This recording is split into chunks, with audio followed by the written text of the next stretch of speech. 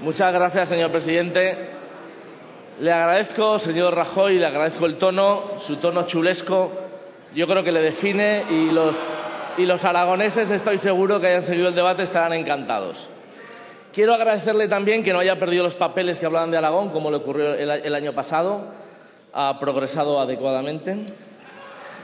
Sé que hay otros diputados aragoneses en la Cámara y doce más, pero en este debate, no sé por qué, soy el único que interviene y yo creo que a mis conciudadanos les gustaría que intervinieran más diputados aragoneses en este debate. Es el debate más importante del año. Es bueno que se escuchen los problemas de Aragón en esta Cámara. Y si usted se ha visto impelido a hablar de las cosas de Aragón es porque ha habido un diputado que he sido yo que le ha preguntado directamente. Ojalá hubiera más portavoces hablando de los problemas de Aragón. Yo creo que a mi país le iría bastante mejor. Hablaba usted de hechos objetivos. Hechos objetivos. En Aragón el paro en 2013 ha subido un 7%, ocho puntos peor que la media española. Eso es un dato objetivo. No sé si es culpa de la señora Báñez, de la señora Rudy o del Cierzo, pero es un dato objetivo.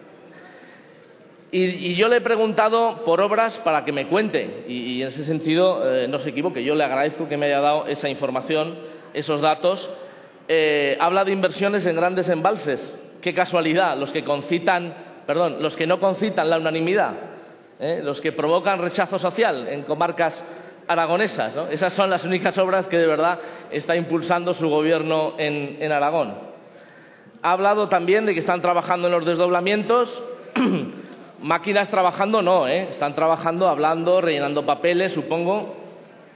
Pero yo no sé, y me gustaría que respondiera, señor Rajoy, ¿veremos máquinas trabajar en los desdoblamientos antes de las elecciones o no? Sobre el ferrocarril dice que quiere mejorar la, la línea Sagunto-Teruel-Zaragoza y, y me echo a temblar, porque la última vez que hablaron de mejorar el ferrocarril convencional, el Gobierno de Aragón puso 13 millones de euros para nada para un eh, funcionamiento Señor vergonzoso. tiene usted que terminar. Co concluyo con esto. 135 averías en cinco meses, que es prácticamente una diaria. 320 retrasos de más de media hora, es decir, dos grandes retrasos al día prácticamente. Ha hablado del Canfrán. Por favor, una fecha para la reapertura. ¿El 2020, sí o no?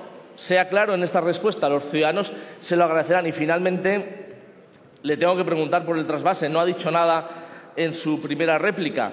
No, no, se haga el sueco, responda sí o no. En Aragón hay mucha gente esperando, no solo la que me ha votado a mí, hay muchísima gente, muchísima gente que le ha votado a usted, está esperando que usted diga si va a haber trasvase del Ebro o no. Por Eh, favor, señor, le ruego, usted- tiene usted que terminar. concluyo ya, le ruego que sea sincero para variar. Muchas gracias.